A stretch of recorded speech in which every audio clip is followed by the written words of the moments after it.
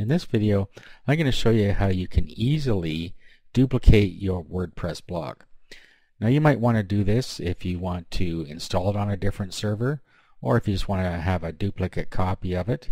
You also can do it if you want to develop on your desktop and then you want to move it back up to your server. You can go either way with it.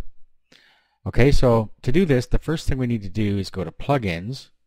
Then we're going to do Add New. And this is a free plugin. So we're going to type in Duplicator.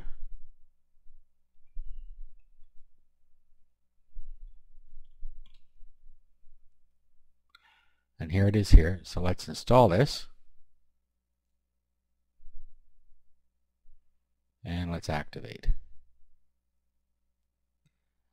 Alright, now what we're going to do is we're going to go and create a package. So if you see down here on the left, we have duplicator. Let's go to the dashboard. Okay, and you'll see there's no package created yet but we can create one. And also down here, you can check your server's compatibility. So you should do that. Click on that, and it'll tell you if you're compatible here. And as you see, we are. So let's close this. Now what we're going to do is we're going to create a package. So if we just click here, and now we should perform the scan. And it's just going to go through and tell us how big everything is. So we got 1.32 gigabytes here, how many files and how many folders. Okay, so now what we're going to do is we're going to create a package set. And we'll just let this finish here. Okay, so the first part is done. We've now created an install package.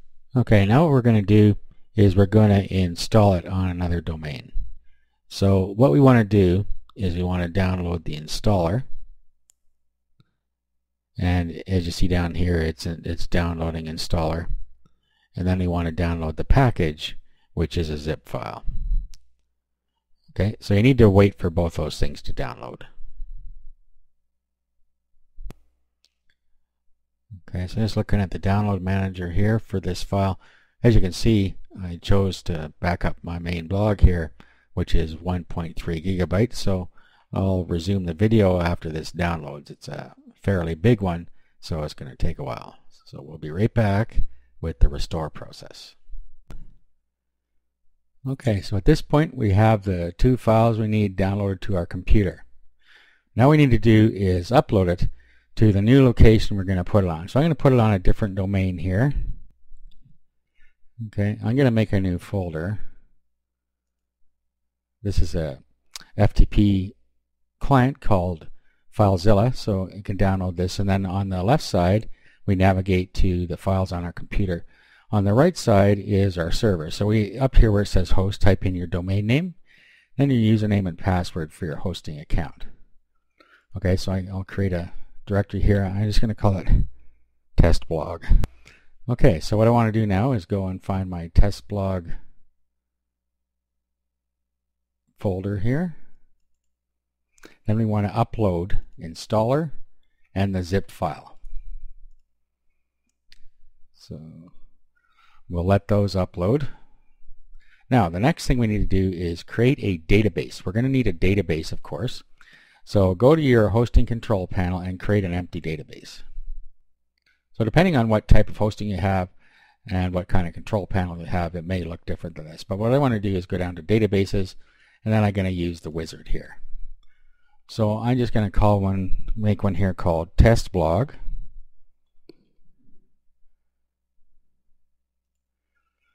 Okay, now we've created a username. You can create whatever you want. I'm just going to call it the same thing. And then in your password, you can use the password generator if you want, and it'll create a nice strong password for you. So copy this. And then go down here. I have copied it somewhere. Use password. And then create user. Give it all privileges. And then next step.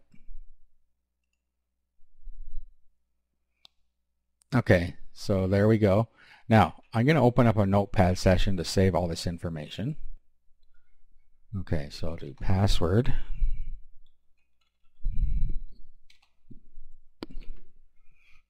And then we'll get the other information from here. So I called the the uh, user, cut it off because it was too long. So there is our username.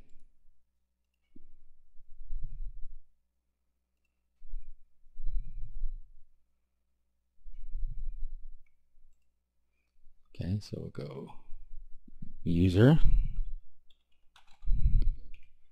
and database.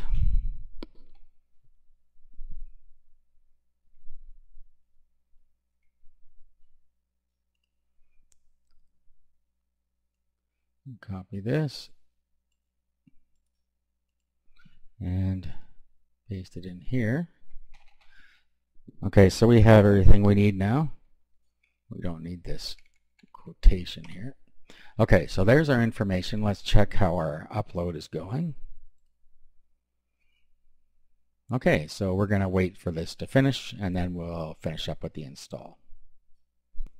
Okay, so at this point we're all, all uploaded. Now what we need to do is go to this installer.php file. So what we do, we'll go over here, key in the domain name, folder name, slash installer.php. Okay, so here we are. Now we need to know our host name. Uh, usually it's localhost, and you can find that by going to php myadmin and looking at what it says in the top of host name. I happen to know that localhost is correct, and that's usually correct. Not so if you're using GoDaddy, but in most other cases it is. Now, your MySQL username, password, and database name. So we save that. So let's bring this over here. This is the database name. So copy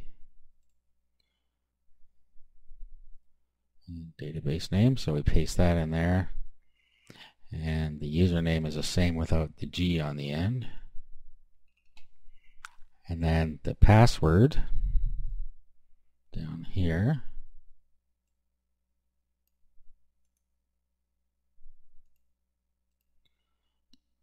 Might have noticed it's different if you're observant, and that's because I had a crash and had to reset it. Okay, so now what we want to do, let's test the connection. Okay, so that's successful. We know that's going to work. You should read the warnings down here. Click I have read all warnings and notices. Let's run deployment. Okay, so just make read the warning, click OK, and here we go. So this is going to go and unzip the file and put everything in place the way it was on our original blog. So it may take a little while for this to finish. Okay, so this has our old settings up here where the blog came from. And now it has the new settings down here. This should be correct. You have advanced options here. Okay, let's update the tables. This is going to replace the paths and so on inside the tables for us. Okay, here we have some final notes. So resave the permalinks, delete the install files, test the entire site, and view the install report. Okay, so here it says we have one warning, so let's have a look. Okay, so what we're going to do now is we're going to go log into our new blog. Okay, so here we are. It's there's our login page for the new blog, so we'll log in. Okay, so here we are logged in, so let's go do what it told us here. We're going to go down to settings and permalinks. And then we're just going to save the changes. Okay, we're going to go and delete the installation files. So let's go back here. Let's do a refresh here. Okay, now you'll see that all our files are in here, so we need to go find the, the zip file here. So this and the installer.php file. That, okay?